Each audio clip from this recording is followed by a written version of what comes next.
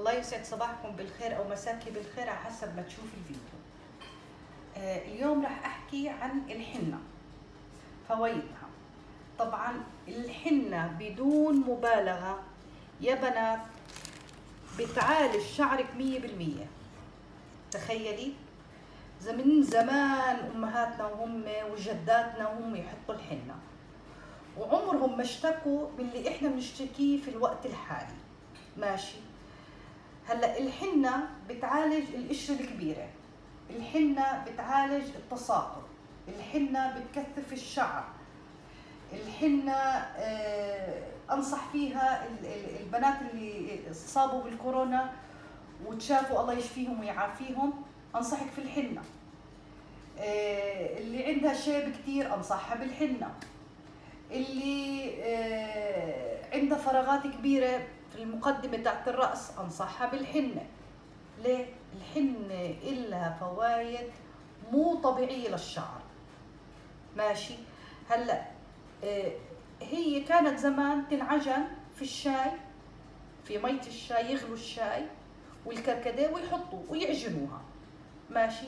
اتطور الموضوع شوي صاروا يعملوها بالأعشاب. okay؟ هلأ إحنا اتطور أكثر الموضوع صارت تنعجن بالزيوت تبعت الشعر. حلو؟ هلأ صار عندنا نوعين من الحنة حنة علاجية وحنة لتلوين الشعر. okay؟ الحنة العلاجية فقط بتتعجن حنة وأعشاب واللهم صل على سيدنا محمد زيوت الشعر. أما اللون بنضيف عليها إضافات عشان تعطيني اللون اللي أنا بدي إياه. طبعا دائما باجي بقول لكم نروح للسنة. في عندك الكتم أو الكتمة زي ما أوصانا الرسول عليه أفضل الصلاة والسلام فيها. هذه بتعطي اللون البني للشعر. وكتير حلوة.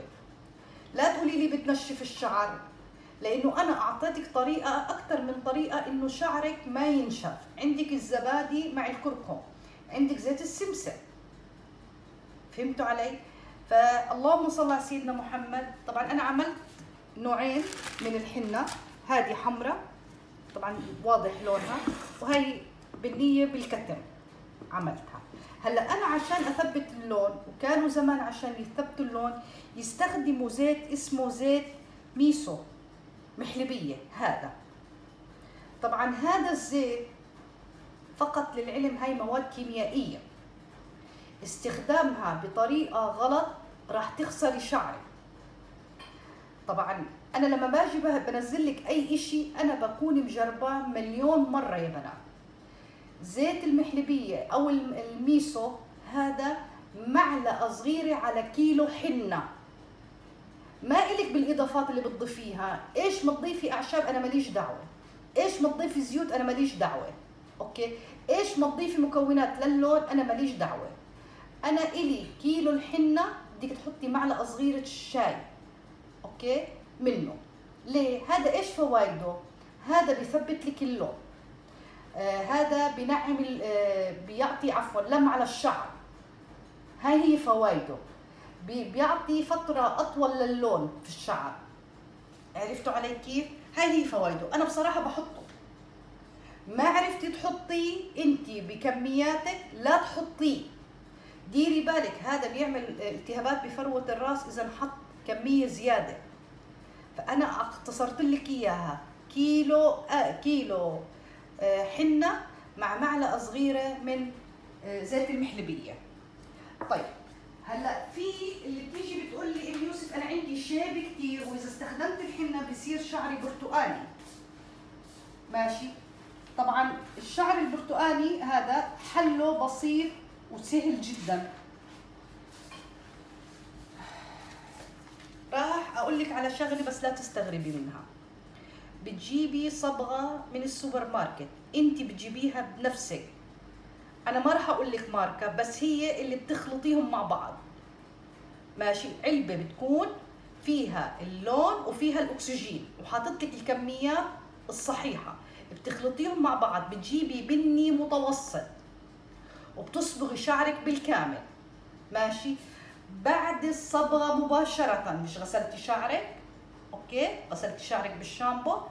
طبعا الشامبو بيتخفى. سيباميت مع معلقتين آه، ماء مورد فورا بتكوني مجهزة علبة زبادي مع كركم وبتحطيها على كامل الشعر وفروة الراس. بتعملي تدليك لفروة الشعر مش أقل من ربع ساعة حتى نتأكد مليون بالمية إنه المواد الكيميائية اللي موجودة في الصبغة طلعت من فروة الراس ومن شعرك حلو؟ بعدها آه، بتحطي زيت السمسم. زيت السمسم من نص ساعة لساعه حلو؟ هذا يوم الصبغ. ثاني يوم وثالث يوم ورابع يوم بتحطي بس زيت السمسم. مش أقل من نص ساعة ومش أكثر من ساعة. هلأ بعد اليوم الرابع اللي هو حيكون اليوم الخامس بنبلش نحط الحنة اللي أنت بدك إياها سواء كانت علاجية أو لون. اتفقنا؟ فأنت خليكي آه، اضربي عصفورين بحجر. اخلطيها يعني يوم اعمليها بالزيت ويوم اعمليها لون. أوكي؟ عشان تضلك محافظة على شعرك ما في شيء. اتفقنا؟ لأنه حيكون ثلاث أيام ورا بعض. تنحط الحنة على الشعر. اتفقنا؟ بعديها بتصير آه، مرة بالأسبوع لمدة شهرين. okay؟ بعديها بتصير كل أسبوعين مرة عشان تضلك محافظة إنه الشيب ما يظهر في شعرك. انتبهي انت ما عالجتي الشيب. انت اخفيتي انتبهي لهذا الموضوع. ما في إشي بيعالج الشيب لغاية هلأ أنا ما وصلت لإشي عالج الشيب عرفتوا علي كيف؟ فهذا كل اللي عندي. فهاي المعلومات مهم جدا عندي تعرفيها أسهل طريقة راح أعملكم فيديو تاني كيف تحطي الحنة على شعرك بدون ما تعجي نفسك. بس أهم إشي إنك تحضري لي علبة شامبو كبيرة فاضية. وبس. ويخلف عليكي. وراح أورجيكي كيف تحمي شعرك من السوائل اللي راح تنزل على الرقبة أو على الوجه. عرفتي علي كيف؟ وكيف تضمني إنها هي وصلت للجذور وكامل الشعر. ماشي يا حبايبي؟ آه, آه والحنة لما بدك تيجي تغسليها من شعرك ممنوع تستخدمي الشامبو. بتستخدمي حمام كريم مخلوط بماء مورد ماشي؟ طبعا أنا بضيف عليه زيوت عطرية الزيوت العطرية بخلط آه 20 ملي من اللهم صل على سيدنا محمد آه لا عفوا 10 ملي من الزيت العطري مع 5 ملي من آه الجليسرين. وبخلطهم مع بعض وبتركهم 24 ساعة. ماشي؟ بعدين بخلطهم في حمام الكريم. حمام الكريم هذا أنا بكون مخففاه في ماء المورد أوكي؟ ولما باجي بتحمم آه، بغسل شعري عفوا من الحنة بستخدمه هو بس. وبعدها بحط زيت السمسم. ضروري يا بنت يا بناتي يا حبايبي يا ماما تحطي زيت السمسم بعد الحنة عشان تحمي شعرك من الجفاف. الحنة بتعمل جفاف بسيط وهيشان للشعر. لكن علاجها جدا ممتاز للكثافة. اللي عندها فراغات اللي شعرها خفيف. فهمتي علي؟ يعني خليها مكملة في البرنامج تاعي يعني انت حطي زيوت على شعرك لكن ضروري تحطي الحنة. يعني أنا كثير بوصيكم فيها يا بنات الله يرضى عليكم. الحنة سر من أسرار جمال الشعر.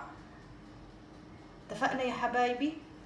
وإذا نسيت إشي والله ما أنا عارفة هذا هذا اللي عندي هلأ يعني هذا اللي حضرني هلأ. okay؟ طبعا كل إشي أنا بنزل لك إياه سواء بحسابي بفيديوهاتي باليوتيوب بالتيك توك بال بالإنستغرام من تجربتي الشخصية.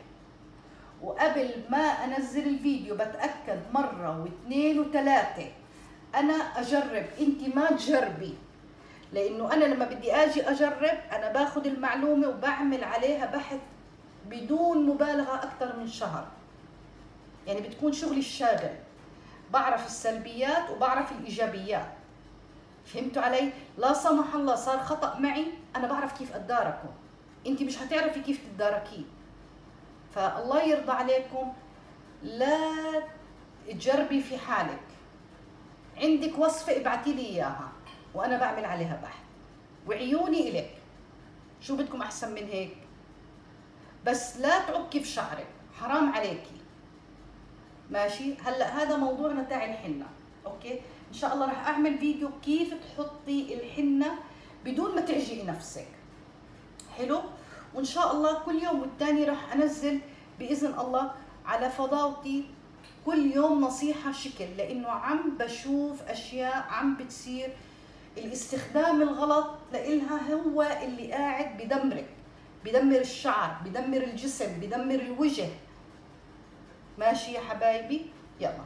نستودعكم في أمان الله. يا من لا تضيع عنده الودائع. الله معكم جميعا يا ماما.